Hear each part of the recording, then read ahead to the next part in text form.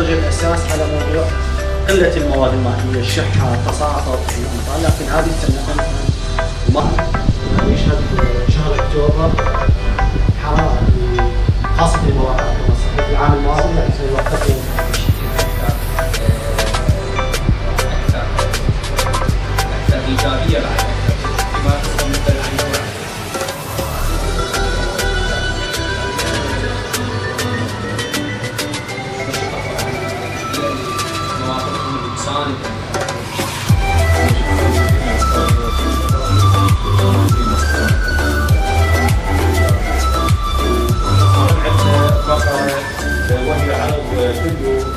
توضيحي عن تغيرات. الرحيم عقدت هذه الجلسة الحوارية اليوم في مديرية بيئة الأنبار التي تناقش التغيرات المناخية وأثرها على الشحة المائية.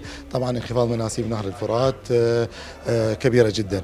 زيادة التلوثات أكيد بسبب انخفاض بسبب رمي الملوثات إلى نهر الفرات دون معالجة وخاصة من قبل معامل الرمل.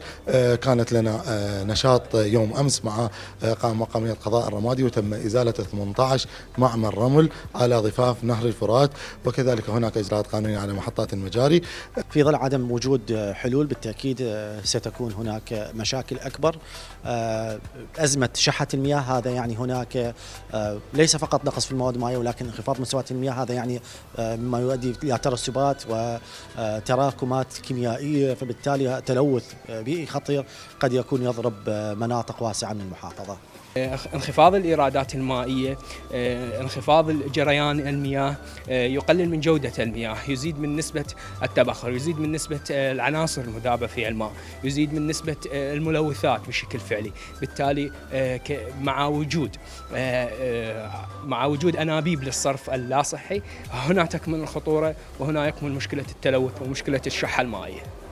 اليوم نبحث عن حلول سريعة وهي تعظيم المورد المائي في المحافظة.